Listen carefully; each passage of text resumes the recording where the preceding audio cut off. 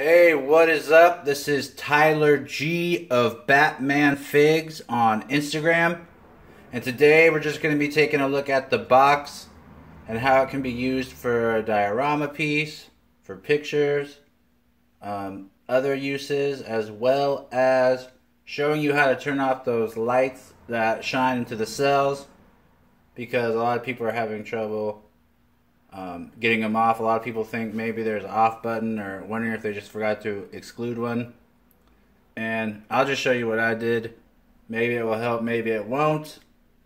But hopefully it does, so you don't just have to take out the battery every time and put it back in.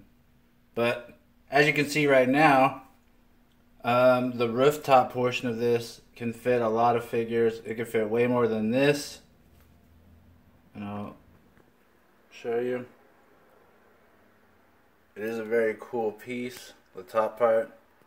Uh, I don't have the bat signal that come came with the two pack, or that came with the Batmobile slash two pack of Batman and Robin. Just because I didn't want to pay all that money just to have a two of the same figure and a light. But uh, you can fit on top of there apparently if you have the bat signal. So that would make for a lot of cool pictures.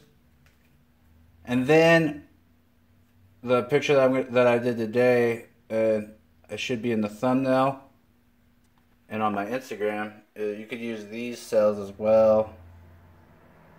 And these may be a little easier to do pictures just because it doesn't have the plastic going through, like see-through to the cell because there's less glare. So it is a little cool to do, and you can have Harley cell, you have Jokers. This is supposed to be Catwoman's, I believe. Uh, scratches and little paws. And then, of course, the Riddler. And so, yeah, I think that's really cool. Since you did have to, you did pay money, not just for the figures, but for this special box piece. And I think they did a good job. I don't know if it justifies the complete hike in price for the five figures. Because five figures would be a hundred dollars at twenty a pop, a little over for twenty five a pop. And these are usually twenty five a pop. And so that'd be and then you add all that extra for the box and it ends up being around 175 is the suggested retail. I, uh, it's a little steep but hopefully you can get a lot of use out of this. So I'm going to take these off right now. And then I'm going to show you the lights in the front.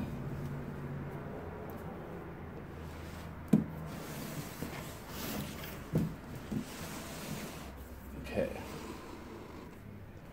I'm, I'm sure you're all aware, they have lights. Bane's light is red. Sorry, you can't really see it well. I'm sorry about the glare. Killer Croc, trust me, is yellow. Mr. Freeze, you can see, is blue. And Ivy is green. And uh, you can take pictures with them in the cells in there, and it looks cool.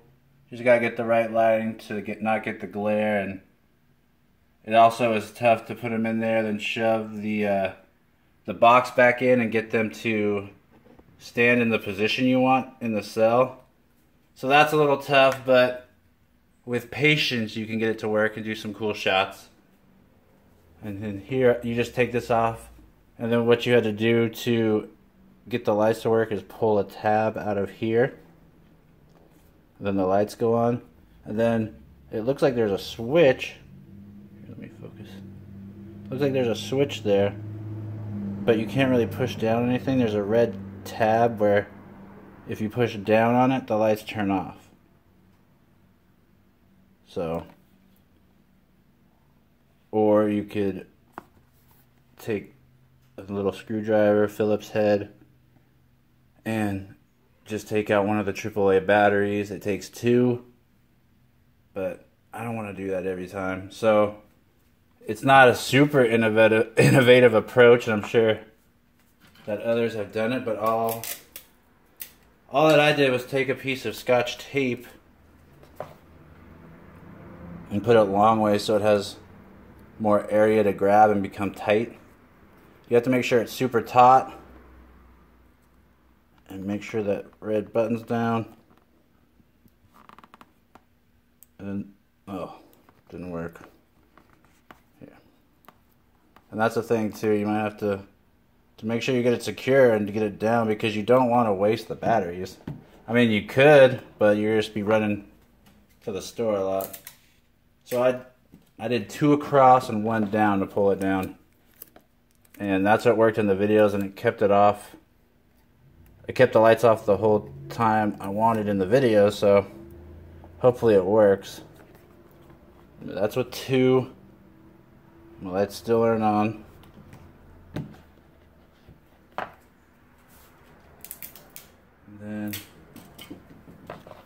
One down. So up here. And again, make sure it's really tight. Stretch it, pull it down. And the lights are off.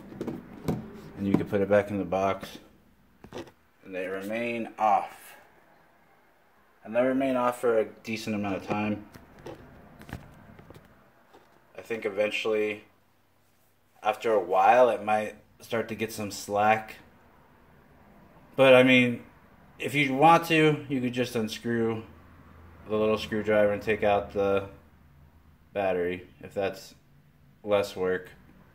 Uh, so far, when I took off the tape too, as well, it didn't mess up the box or anything or start ripping away at the cardboard. So that's good. But that's just my that's just what I my idea, my take. Hopefully, it works uh, for you. But yeah, I think this is this is a really this is a cool box and could definitely be used for some picture ideas. But like I said early on, and a lot of people I've heard are kind of not liking how steep the price is. I don't know if the box itself justifies how much this actually cost. Because again, five figures at 25 a pop and that is what they're usually if you bought them solo. And this set altogether cost 175 in the comics or in the comic shops plus tax. I got it on Amazon, so I found it cheaper. But then with shipping and stuff, it almost comes out to 175 anyway. So yeah, you could get some use out of it. Do I think it's worth the price in total? No but the figures are awesome, and it's the only way you're gonna get the figures.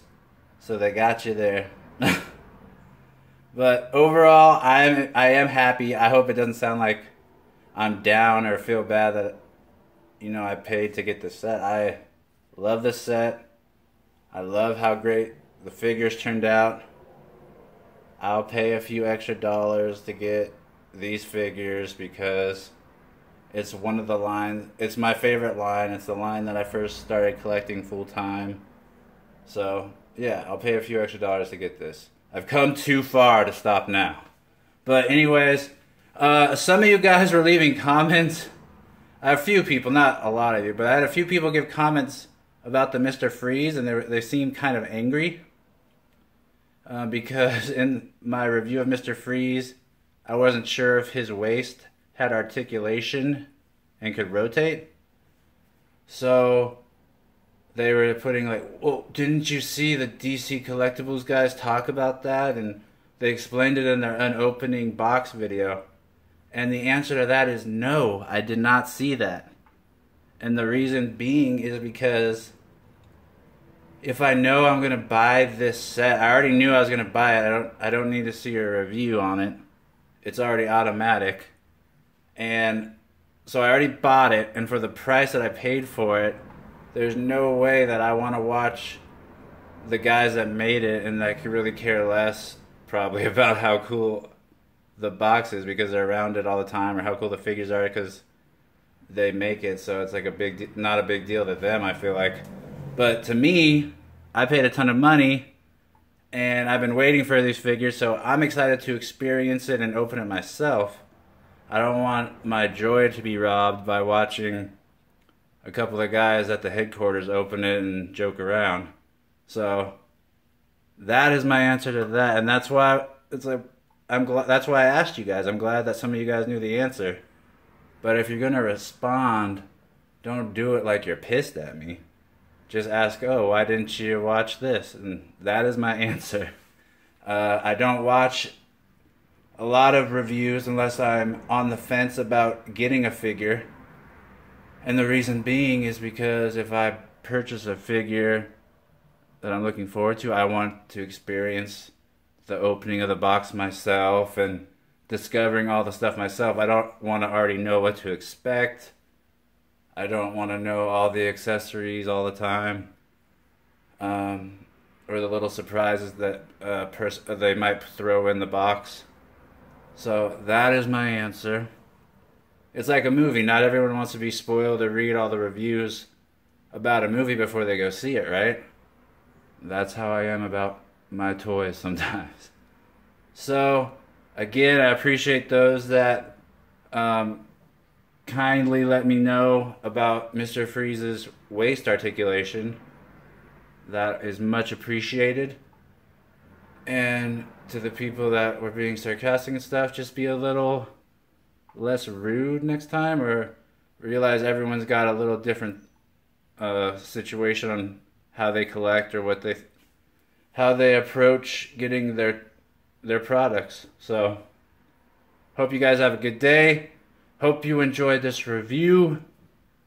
And if you want to check out more pictures, of course, go to my Instagram, which is Batman Figs, Batman F I G S. I will be getting back to doing the daily episode reviews um, Monday or I don't know when you're seeing this, but you're seeing this when I posted it Monday. And it's gonna be fun because I'm still in the BTAS seasons before it's the new design, so I got some new characters to use. Should be fun. Alright. I'll see you guys later.